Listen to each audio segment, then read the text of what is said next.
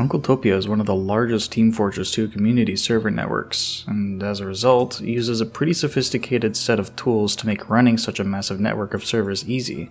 It may seem daunting at first to see how the official GitHub repository is organized with a deep nested folder structure, but in reality, when we break how it all works down to the fundamentals of each tool, everything comes together neatly. To learn for myself how it all worked, I went on my own and made a less complicated version. The tools used are as follows.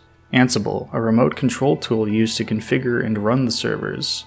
Jinja2, a text file templating tool that we use in combination with Ansible to generate server config files.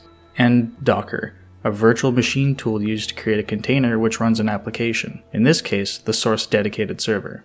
Let's break down how each of these tools works in finer detail. Ansible is a tool from Red Hat that allows you to define a set of instructions called a play. These plays can perform basically any instruction you can think of. These instruction sets, called a playbook, can then be run on a remote machine that you define in an inventory. You can even give parameters to these playbooks depending on which group they're in or what you've configured their hostname to be within the inventory file. The inventory, playbooks, and group or host variables are what allow us to define what servers to run on which machine and what sort of game mode they should be running.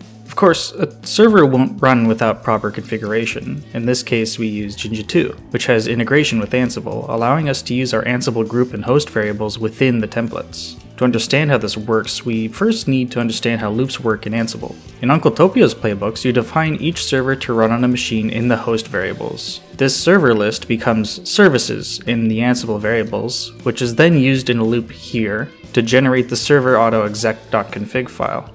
Since no explicit name for the loop variable was given, it defaults to item. Here at the top of autoexec.config, we then use the name defined in the current loop as the hostname. The default here says that if the current loop has no name, that it should default to a variable called srcds hostname, which is a default defined in the group variables and is probably something like a generic Team Fortress 2 server. We now have our server config, but we need to run it.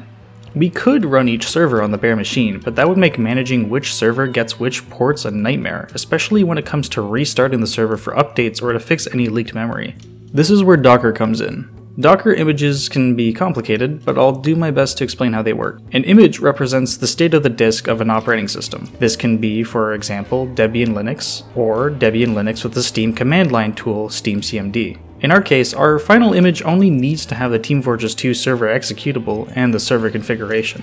Since we may be running more than one server, let's use this public SteamCMD image to create an intermediate image that contains only the Team Fortress 2 server freshly installed from Steam. We can use that as a base to then patch on our configuration and create our final image. This also saves us a ton of disk space, as Docker can reference our stored base image for Team Fortress 2.